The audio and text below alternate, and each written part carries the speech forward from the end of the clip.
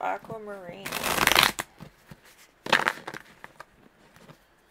Somebody could be born in March. Uh, have an aquamarine as their birthstone. Or just like the ocean. I feel like a lot of people like the ocean. Certain parts of the world.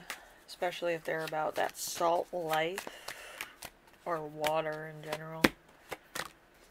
Alright, uh, let's see what's going on here. We have the King of Swords with Invention and Honorable. We have the Ace of Cups in reverse with Emotional Growth and Friendship. We have the Seven of Cups with Illusions and Psychic Bonds.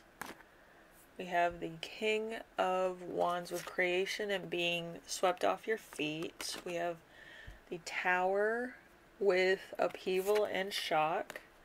We have the Nine of Cups in reverse with no emotional satisfaction. We have the Knight of Cups in reverse with no romanticism and no knight in shining armor.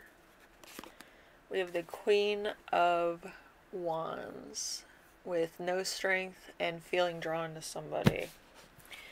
Alright, so wedding budget at its maximum is going to be $3,052. Uh, $3,052. Yep, okay. So the ring is going to be a Tiffany setting. It's going to be a knot ring, or it's going to be one of those um, Irish uh, promise rings. It's going to be a six prong setting and a cluster ring. Eh, could be any of these two. It's going to look like that um, Twilight engagement ring. That'd be cute. The wedding theme will be silver, silver bells or travel uh, wedding themes. So you might like a particular place and you kind of want to assimilate that into your wedding theme. Um, cake and food, chocolate cake with cream cheese filling. The venue will be a forest preserve, a campground, a farm, or a barnyard, kind of a rustic feel.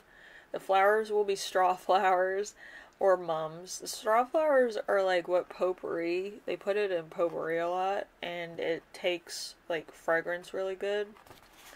But I've grown some of those things. Those are pretty cool. They look like little scarecrow flowers. They're really cute. Okay, we have dress code. It could be cocktail attire or custom. Uh, we have gift registry. Could be at Blue Nile. It could be cookware or fashion wear as well. Uh, we have the wedding dress. Could be a ball gown, a princess style ball gown. And the mishaps of this wedding are going to be clown makeup. Oh boy. I hope it's not the bride. Ugh. But I hope it's like the mother in law. That'd be funny. Um. excuse me. Ooh. the mother in law should wear clown makeup or the great aunt. Be really cool. Um. Anyway, with this wedding, I don't I don't think there's much to it. I just feel like it's just trying to get the flowers last minute might be a problem because it is a rare flower to find in certain areas.